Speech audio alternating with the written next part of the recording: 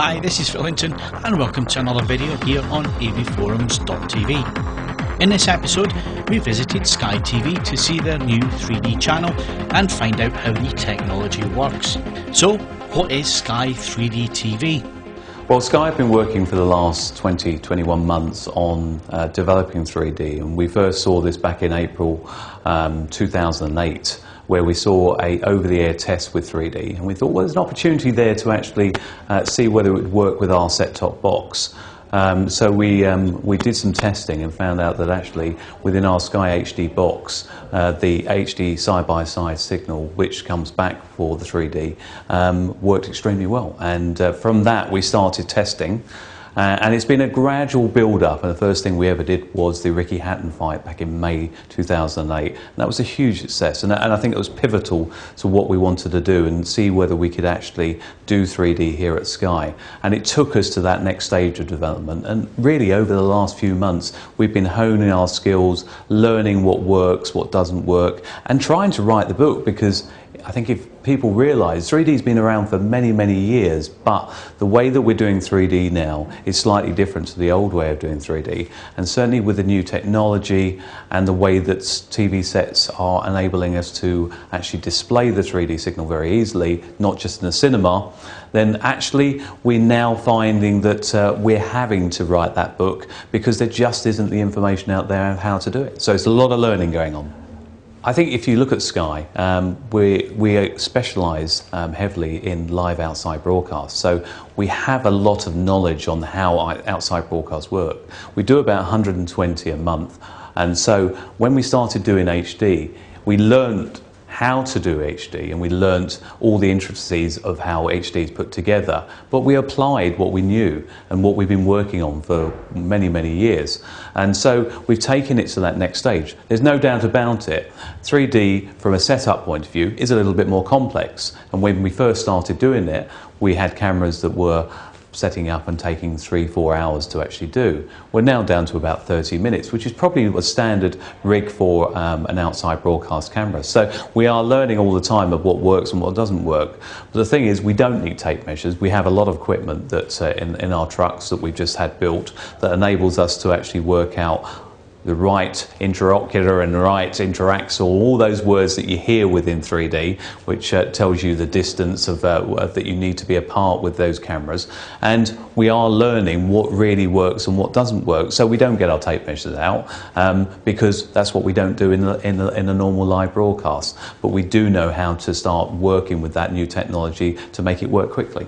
Now, speaking with uh, the end users, the, the mass market out there, there seems to be um, two or three different camps when you ask them about 3D. Uh, one of the, the things is that people expect things to come flying out the screen um, at them in 3D. Now, that's not the whole point of the new no. 3D technology. No, it's not. And uh, originally, I think people were with 3D expecting a lot of action coming out of the screen. And we learned very quickly that that's a very tiresome thing if you're in that cinema, in that home environment, and seeing things constantly coming out of the screen. We approached it slightly differently, and it's something that if you look at the animations now, they're approaching exactly the same way, and live action is, is, is, is uh, approaching exactly the same way, which is make it more natural. The way that we view uh, in, in, our world is uh, with, our, with our eyes is anything in the distance flattens out, anything close up has a three dimensional feel to it. And as I said earlier, we are trying to make more of a natural feel to the way that we view our content.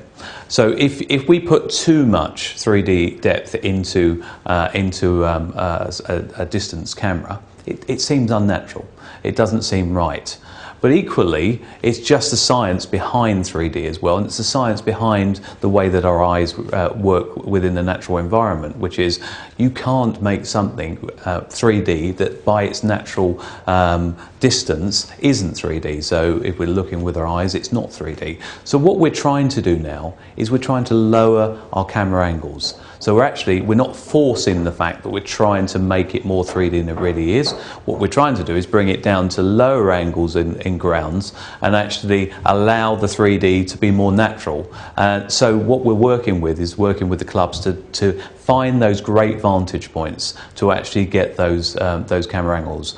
And uh, only recently, um, last night, we, we did the, the Spurs Arsenal game, and we found a great position. It's um, not the high vantage point, it's midway down, it's working really, really well. But you imagine now we've got to do that with all 20 clubs, and constantly we've got to put infrastructure in to be able to do that. So it's a gradual process, and we're learning what, what works and what doesn't work. So I think what you'll see is a development of great camera angles coming as we start finding where the best positions are in those grounds. But there's no doubt about it. If you look in the distance, it's going to flatten, and if you're close up, it's going to be three dimensional. And what we're now trying to do is make it more natural by bringing it down. Well, one of the big issues at the moment is that people are going to have to go and buy a new 3D TV if they want to view 3D. They're going to have to buy a new Blu-ray player. Um, there's some manufacturers saying that they need to go and buy a new AV receiver if they're putting the video signals through that. When it comes to Sky, do they have to buy anything new or can it work off the existing HD box? Uh, that's the beauty of this, the existing Sky HD box. It works. So basically, if you have a Sky HD box, it will receive our 3D signal. So they know confidently that when they're buying 3D and, and they're buying a Sky Plus HD box, it is absolutely capable of doing that. Um, where it comes to the 3D TV sets, that's a choice that the people have. But I think you'll notice more and more the manufacturers coming standardizing with 3D out with their high-end TV sets. So standard uh, HD box used in exactly the same way as they would normally use it within 2D um, and they get all the functionality that they would normally get within a 2D, uh, 2D transmission.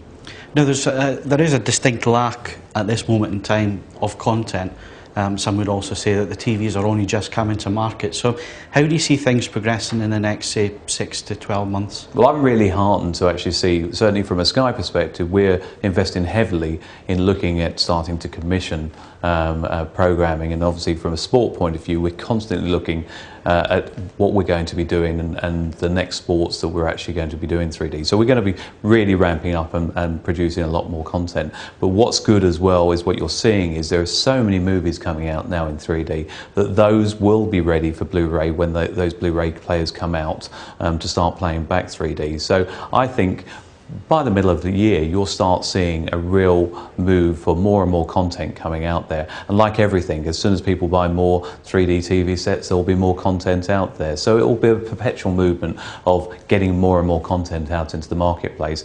But it's really interesting to see that um, the various um, uh, movie houses out there and production companies are really starting to look at what they're shooting and what, uh, what works within 3D. And so I think you're going to see a lot of content coming out very, very soon.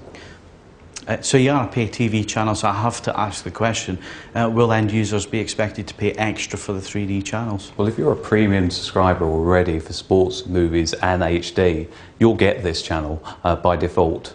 Um, the reason we do this is this is not just a sports channel, not just a movies channel, not just an entertainment channel. We enable it to, to be a, all of those things. And we want to ensure that you receive all of the content. And this is why you have to be a, a movies, sports and HD subscriber. And the final question, and it's one that confuses a lot of people, is that we have two different technologies coming to market. We have active and we have passive.